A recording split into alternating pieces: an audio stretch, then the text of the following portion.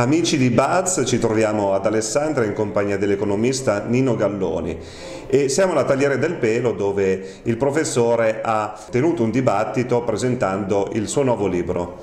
Eh, professore, eh, partiamo dalla copertina. Sulla copertina si vede l'immagine di uno spartano che combatte il mostro mitologico Idra a mille teste con eh, sopra raffigurata l'effigie del dollaro. Stiamo vivendo un periodo di de-dollarizzazione e di de-americanizzazione si può dire. Eh, se da un lato appunto gli Stati Uniti stanno perdendo eh, quello che era il potere, eh, l'egemonia dal secondo dopoguerra ad oggi, e dall'altra eh, sta nascendo, si sta facendo sempre più strada un polo eh, alternativo a quello atlantista di paesi, eh, si può dire antagonista, ovvero quello dei BRICS. Come dovrebbe rapportarsi con questa nuova realtà il nostro paese secondo lei?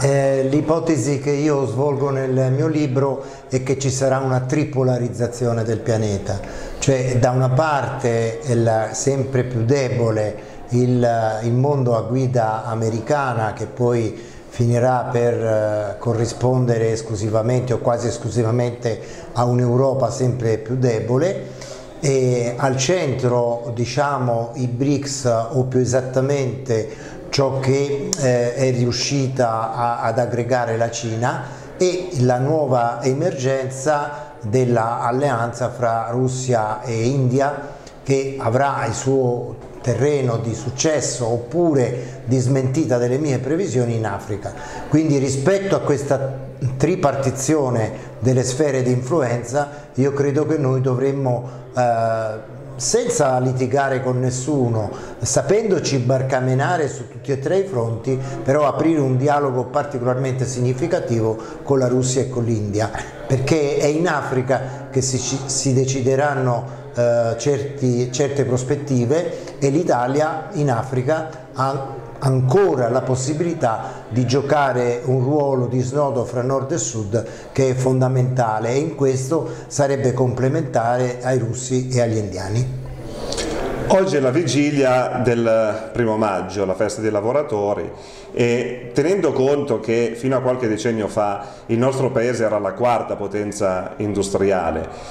come vede lo stato di salute oggi del mercato del lavoro in Italia? Beh, diciamo che siamo arrivati al punto che non c'è molto da festeggiare perché il lavoro ha perso tutti quei diritti che aveva acquisito in 150 anni di lotta perché eh, i sindacati e i partiti di sinistra si sono volti a svolgere altre attività, altri mestieri, a proteggere eh, certi tipi di minoranze hanno abbandonato la grande massa dei lavoratori che poi come elettorato è rifluita verso diciamo, quelle che una volta chiamavamo chiamavamo le destre. Quindi è chiaro che l'unico modo che abbiamo per uscirne vivi è trovare la formula di eh, introduzione di una moneta non a debito, cioè parallela eh, nell'economia per rilanciare gli investimenti pubblici eh, nello stesso tempo sviluppare quelle attività di cura delle persone, dell'ambiente, del patrimonio esistente che porterebbero in alto i livelli occupazionali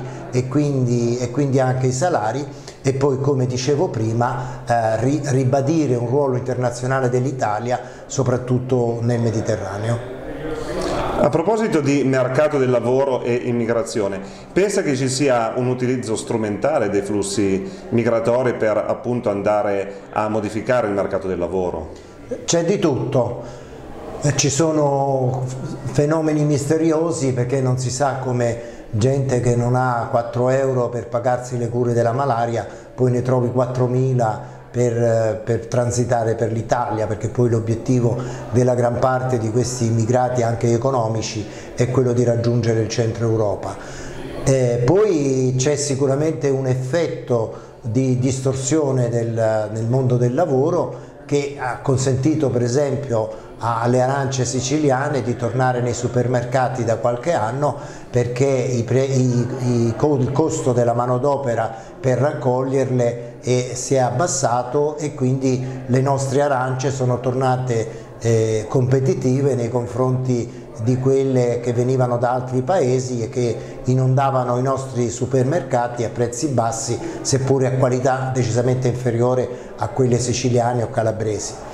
E quindi eh, ci, sono questi, ci, sono tutti questi, fenomeni, compresa l'ipotesi di una Italia diversamente rappresentata in termini di cittadinanza da eh, gente che eh,